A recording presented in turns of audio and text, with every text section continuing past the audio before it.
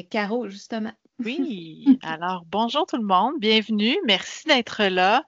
Euh, aujourd'hui, en fait, on vous présente le récit des arts à, votre portée. En fait, c'est un peu, c'est quoi, c'est l'offre du récit national des arts euh, pour cette année. Ceux qui sont habitués à nous, vous allez voir un peu euh, les nouveautés cette année. On va vraiment expliquer brièvement. L'idée, c'est pas d'aller en profondeur, mais c'est que vous sortiez de la demi-heure et que vous ayez comme un tour d'horizon de, de ce qu'on est capable de faire pour vous accompagner dans vos milieux. Donc, le lien vers la présentation va être disponible. On va le mettre dans le clavardage. Et euh, en fait, on peut passer à la, diapositive suivante, euh, Brigitte Louise. Et au menu aujourd'hui, donc, on va se présenter, euh, expliquer c'est quoi le récit art, nos, nos quatre volets, en fait, pour s'informer, pour se former. Euh, pour collaborer. On adore collaborer pour innover et une conclusion. Comme le dit Brigitte Loué juste un petit peu en avant, ben, s'il y en a qui ont des questions plus particulières, n'hésitez pas à rester après le, après le 30 minutes. On va être là pour répondre à vos questions. Donc, notre équipe 2024-2025, roulement de tambour, L'équipe est stable, on est super content, on est six. Donc, je me présente, Caroline Bergeron, je suis enseignante en danse. Donc, j'ai enseigné, euh, je dirais, depuis plus de à peu près 20 ans euh, au primaire, au secondaire, public, privé. Je suis aussi chargée de cours au département de danse de l'UQAM, donc à la formation des futures enseignantes, euh, enseignants de la danse. Je m'occupe évidemment au récit du volet danse et j'ai un dada particulier, tout ce qui est en fait interdisciplinaire et tout ce qui est en présentation hors de la scène. Il y a notre collègue André euh, Caroline Boucher qui n'est pas là, euh, notre doyenne au Récit des Arts, qui n'est pas là ce midi, euh, est enseignante en arts plastiques, est aussi chargée de cours à l'Université du Québec en Outaouais. Comme je disais, c'est notre doyenne. C'est elle qui a vraiment parti le, récit en 99 et elle est, elle est, responsable du dossier de tout ce qui est formation à distance, donc on appelle le FAD. Il y a beaucoup d'acronymes, des fois on se parle dans les acronymes, fait que j'aime ça le, dire au long. FAD, c'est formation à distance. Même moi, je suis en train encore de m'approprier euh, m'approprier les acronymes. Euh, du dossier, en fait, Influx, on en parle un peu plus tard, je crois. Euh, le dictionnaire multimodal, trialogue culturel, et elle a aussi une communauté de pratique sur le portfolio numérique et elle aime beaucoup tout ce qui est réalité augmentée. Est-ce qu'Audrey nous a rejoint? Pas encore, je crois. Ah, OK. Alors, je vais présenter Audrey, qui est enseignante en arts plastiques au secondaire et arts visuels multimédia. Euh, son dossier majoritaire, Audrey est, avec nous, mais malheureusement, un tout petit pourcentage. Elle travaille beaucoup sur la conception du dictionnaire multimodal. Puis, on essaie, dans, son espace-temps, de, de, l'ouvrir vers euh, d'autres dossiers. Donc, euh, Marie-Ève La Police, euh, j'étais euh, enseignante en art plastique au secondaire, puis donc je tiens le dossier art plastique. Je partage le dossier art plastique avec, avec André-Caroline et aussi Audrey un peu. mes expertises sont surtout en ce moment au niveau des réalités virtuelles augmentées et de l'intelligence artificielle, mais aussi un petit peu de la ludification. Moi-même, Brigitte Louise, euh, euh, j'ai été euh, sur le terrain pendant 27 ans, au primaire, au secondaire, au privé, au public. J'ai enseigné aussi à l'Université Laval puis à l'Université de Sherbrooke comme chargée de cours. Et mon expertise à moi, c'est la gestion de classe, la planification, l'évaluation. J'ai un penchant, j'ai un, soft spot, comment on dit ça en français? en tout cas. Habileté. Euh, euh, une attirance particulière pour la formation initiale. Les nouveaux enseignants, ça me parle beaucoup. Et je suis porteuse du dossier musique. Éric Kigiel, c'est moi ça. J'enseigne l'art dramatique encore aujourd'hui. Donc, je suis à 50% avec le récit, 50% en art dramatique au secondaire à la polyvalente Chanoine Armaresco à Saint-Jean-sur-Richelieu. J'enseigne aussi en multimédia à cette même polyvalente-là. Mon expertise, ben, c'est l'art dramatique et le multimédia. Et je m'occupe du dossier art dramatique pour le récit. Je suis moins nouveau, mais encore nouveau.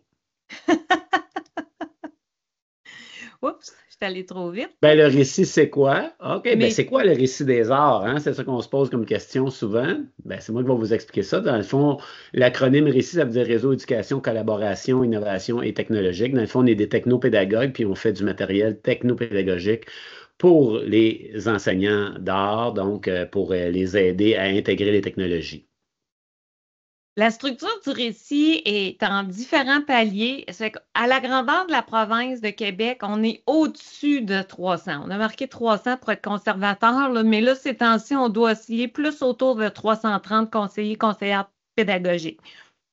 Les trois paliers sont les services locaux. Alors, vous avez un service de proximité dans vos centres de services scolaires ou encore dans vos institutions privées. Vous avez des récits. Alors, ces gens-là vous aident à intégrer les technologies dans votre pratique pédagogique. Le deuxième niveau qui vous intéresse davantage, c'est celui qui est comme illuminé. Ce sont les services nationaux qui, eux, couvrent toute la province. Alors, ce n'est pas nécessairement un service de proximité, mais leur spécialité, c'est les disciplines. Alors, nous, le récit du domaine des arts, notre spécialité, évidemment, ce sont les quatre ans. Et on a aussi les services régionaux qui, ça, c'est une réalité dans l'enseignement normal de la formation générale des jeunes qui vous touche un petit peu moins. Alors, pour s'informer, quels sont les outils dont vous disposez pour vous informer? En tout premier lieu, il va y avoir quelqu'un qui va sûrement le mettre dans le clavardage, vous avez le site Web. Euh, il y a un an et demi de ça, à peu près, on a eu une refonte pour essayer de faciliter l'accès aux différentes ressources. Toujours difficile de trouver la formule gagnante pour l'accessibilité. Mais ce qu'on a choisi de faire, c'est de diviser dans les quatre disciplines artistiques. Et dans chacune de ces disciplines artistiques-là, les cinq subdivisions sont les mêmes. Alors, on parle de compétences, on de planifier, évaluer, de qu'est-ce que je peux avoir comme support à l'enseignement et de quoi est-ce que je dispose comme ressources et technologies. Et vous avez aussi le dernier du petit ruban, ben, l'avant-dernier avant le contact, mais le volet aussi toutes les formations. Donc, si vous voulez savoir c'est quoi notre prochain webinaire, c'est quoi notre prochain midi multimédia, ben, en allant dans formation, vous perdrez aucune euh, de ces formations-là qui s'en vient. Ce n'est pas à vous de vous adapter, mais bien à nous. Alors, on est présent sur tous les réseaux sociaux. Euh, pour ceux qui disent, ben moi, je suis pas Facebook, euh, moi, je préfère X. Bon, ben, on est sur X aussi, Instagram et LinkedIn, mais je dois avouer qu'on a un petit euh, penchant pour Facebook, qui est une plateforme finalement qui est assez intéressante pour partager nos différentes ressources. Sur notre chaîne YouTube, au dernier recensement, on a plus de 687 vidéos et 115 listes de lecture. Donc, quand vous allez télécharger le support de présentation d'aujourd'hui, évidemment, vous avez tous les hyperliens, les tutoriels, les webinaires, les midis multimédia. Tout ce que nous produisons est disponible en différé. Vous avez aussi des vidéos didactiques qui ont été créées pour euh, expressément pour les disciplines, pour expliquer des concepts. Donc, en art dramatique, en danse, en musique, et il y a aussi en art plastique à travers le cours euh, obligatoire de formation à distance de quatrième secondaire. Euh, on a des publications régulières, euh, mais pour ne rien manquer, vous pouvez vous abonner à notre chaîne, puis à ce moment-là, vous aurez des notifications dès qu'on dépose quelque chose dessus. On a aussi quelques fois par année notre bulletin électronique. Si vous êtes abonné, vous venez d'en avoir un bulletin avec toute notre programmation d'automne, quelques nouvelles et aussi les adresses courriels pour nous rejoindre. Ils sont aussi, si vous voulez les consulter, disponibles sur notre site Web en archive. Chaque mardi, nous aurons, ça c'est tout nouveau de cette année, une rubrique Saviez-vous que? Donc, sur les différents réseaux sociaux, on va pointer notre projecteur sur une des ressources qu'on a déjà pour la remettre euh, en action parce qu'évidemment, on le sait, sur notre site web, il y en a vraiment beaucoup de ressources. Alors, on sélectionne des choses intéressantes, on les passe à travers les réseaux sociaux et quand vous avez une chance, ben, vous pouvez aller euh, euh, visiter cette ressource-là qu'on a mis en évidence. Audrey est revenue, fait qu'elle va pouvoir prendre le relais. Parfait. Merci de me l'avoir dit parce que vous êtes là pour moi. Là, je vous regardais là, mais je vois pas personne. Je te laisse, euh, Audrey, vas-y. Oui, donc euh, on a aussi à chaque semaine, le jeudi, le euh, Q&R et réponses. Donc, c'est une question qui nous a été posée à travers euh, les réseaux sociaux, par courriel, euh, de toutes sortes de façons, en fait. Euh, puis, c'est une question qui peut être d'intérêt un peu pour tous. Donc, c'est publié sur Facebook, sur X, sur Instagram et sur LinkedIn. Donc, c'est une autre façon d'aider, en fait, là, avec des questions qui pourraient servir à plus qu'une personne.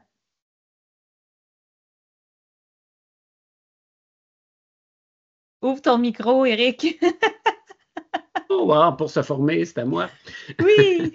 Merci, va m'aider, je l'avais fermé. Donc, on a plusieurs plateformes euh, pour, vous aider à, vous former aussi. Donc, euh, si, on on poursuit, bon, on va parler des webinaires. Donc, on fait des webinaires comme aujourd'hui. Donc, on vous forme en direct sur l'heure du midi, comme ça, souvent pendant une heure. Des fois, ce n'est pas toujours sur l'heure du midi, mais les webinaires sont enregistrés, donc sont disponible sur le site web, sur le YouTube et sur Campus Récit. Donc, euh, vous pouvez aller sur ces plateformes-là. Donc, les webinaires de cette année, donc, on réussi va te porter aujourd'hui le buffet d'outils d'IA hein, pour la, création visuelle, le dictionnaire multimodal en musique et le 9 décembre, on va avoir Adieu John Board parce que c'est terminé. Bienvenue à Fidjgram, Fidjgram? Fidjam. Fidjam, merci, je l'ai, Oui, oui. Campus Récit, Campus Récit, donc vous pouvez en ligne, il y a des auto-formations, donc il y a 25 auto-formations et vous avez des badges de reconnaissance professionnelle. Donc vous pouvez aller sur le Campus Récit, vous abonner et après ça, choisir la formation que vous désirez. On a aussi une petite publication du vendredi qui s'appelle Les trucs articles euh, qu'on va retrouver sur tous nos médias sociaux, qui est dans le fond une petite trouvaille techno, quelque chose qu'on trouve intéressant, soit une mini démo d'un outil euh, qui a capté notre attention ou une nouvelle fonctionnalité ou une fonctionnalité peut-être un peu moins connue d'outils que vous connaissez déjà, que vous utilisez déjà. Il y a une nouveauté qui va s'en venir euh, prochainement qui, va s'appeler la rédactique. Dans le fond, c'est un jeu de mots avec le mot rédactique T-I-Q-U-E, qui veut dire l'art du prompt, dans le fond. Donc, comment écrire des requêtes euh, efficaces pour les outils d'IA. Alors, à chaque lundi, pour augmenter votre littératie de l'IA, on va vous proposer des requêtes à utiliser dans différents, euh, différents outils d'IA pour voir un peu ce que c'est capable ou pas capable de faire. Euh, un autre euh, outil de formation qu'on vous offre depuis déjà quelques années, ça s'appelle les multimédias. Donc, se former, euh, s'initier à un outil numérique entre deux bouchées. C'est le troisième mercredi du mois tout le temps. Ça dure 30 minutes. L'objectif, c'est vraiment de vous amener à faire une production. Donc, après le 30 minutes, c'est un atelier pratique. Après le 30 minutes, vous avez réalisé en même temps avec nous, en suivant le pas à pas, vous avez réalisé une production que vous pouvez réinvestir dans une SAE, dans un autre, euh, dans un autre projet de, plus longue envergure euh, par la suite. Les Midi Multimédia de l'automne, il y a Bingo Baker euh, qui s'en vient non, qui est passé, voyons, qu'est-ce que je dis là? qui est passé, l'enregistrement est là. Donc, ça, ça, ça c'est un midi multimédia pour les quatre heures, peu importe la discipline. Il y a animation pop art dans Canva qui s'en vient pour le mois d'octobre. Et euh, pour le mois de novembre, vous avez adaptation de texte libre de droit avec Imparato. Alors, prochainement, c'est la grosse saison des congrès. Donc, le congrès de la FAMEC s'en vient. Si dans notre auditoire, on a des enseignants de musique qui savent que c'est euh, Saint-Sauveur du 7 au 9 novembre. Donc, euh, j'y présenterai avec des collègues quatre ateliers, dont l'intelligence artificielle en classe de musique, le dictionnaire multimodal spécifiquement en musique, il y aura un atelier de production et de partage avec une interface qui s'appelle WordWall et le partage se fera à la grandeur de notre communauté à travers notre site web. Et je vais travailler avec une collègue aussi euh, sur Musician. Pour ceux qui sont en musique, vous savez peut-être que c'est une application pour apprendre, dans le cas qui nous intéresse, le ukulélé. Alors ça, c'est le congrès de musique suivi du le congrès de la QESAP euh, se déroulera aussi à Québec, donc 21 au 23 novembre à l'Hôtel Pur. On va y présenter trois ateliers. Un sur le trialogue culturel qui va être euh, fait en collaboration avec le récit du domaine des langues. Un autre sur, euh, ça c'est une demi-journée sur enrichir sa palette créative multimodale grâce à l'IA. Donc, on va explorer plein d'outils de création avec l'IA et un projet de réalité augmentée qui a été vécu euh, à la fin de l'année dernière, au printemps dernier, et qui va, euh, on, est en train de commencer un deuxième volet, une deuxième version cet automne, qui s'appelle Parler à travers son chapeau. Donc, on va présenter le projet, puis euh, les outils qu'on a développés pour, pour réaliser ce projet-là. Le congrès de la TEC, des enseignants d'art dramatique, donc du 16 au 18 janvier. Donc ce soir, c'est le 5 à 7 de la TEC aussi, il faut pas oublier. Donc, euh, euh, l'intelligence artificielle qu'on va présenter en classe d'art dramatique et la création de doublage avec VoxDub, c'est pas encore confirmé, ça, parce que là, il n'y avait pas, pas, de place, mais sinon, il va être à la COPS, VoxDub, donc probablement. Donc, euh, comment, comment utiliser VoxDub pour créer ses propres doublages en classe. Le congrès de l'AQD, euh, c'est comme, je sais que pour tout le monde, mais pour nous à l'AQD, enseignants de la danse, c'est super important cette année. C'est la première fois qu'on a un vrai congrès comme les autres de trois jours et je capote, si je peux dire ça comme ça. C'est au centre O3 à Val-des-Sources, ça va être en janvier et il va y avoir euh, le dictionnaire multimodal en danse qui va être euh, présenté euh, par moi-même, par le récit, dans le but vraiment d'aller d'aller collaborer, en fait, d'aller chercher des collaborations, que ce, soit un outil qui soit c'est pas juste créé par nous, mais aussi par les différents enseignants à travers le Québec. En parlant de collaboration aussi, on aime ça euh, justement collaborer dans de multiples façons avec euh, des CP, des enseignantes, enseignants. Euh, ici, en ce moment, on a deux COP, donc deux communautés, communautés de pratique. Une qui porte sur le portfolio, c'est André-Caroline qui, qui, qui, pilote cette COP-là. ça concerne six CSS.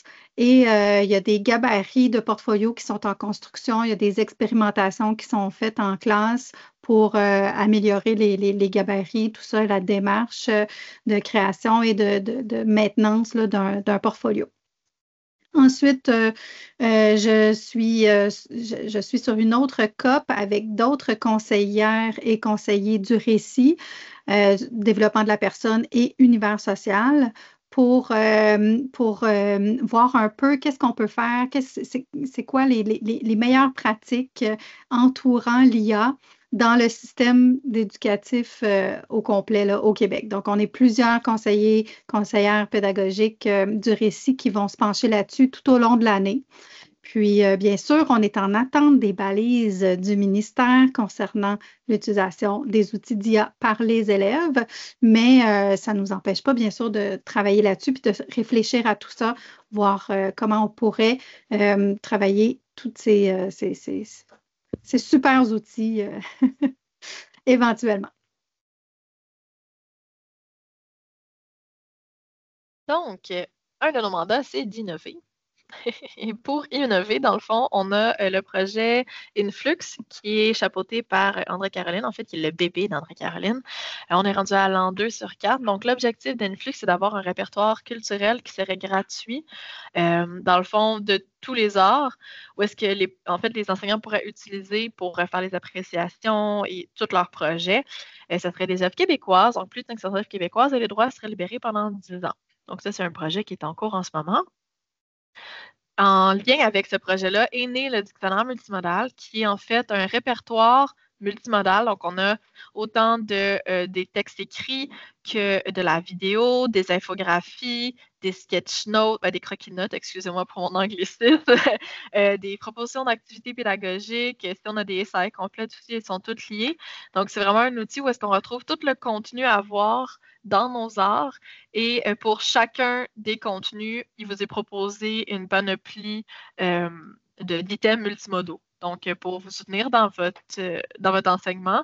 Et ça peut être aussi super utile aussi pour les élèves. Là. S'ils ont des questions, c'est un bel outil de référence pour nos élèves aussi, avec tout ce qui s'y retrouve.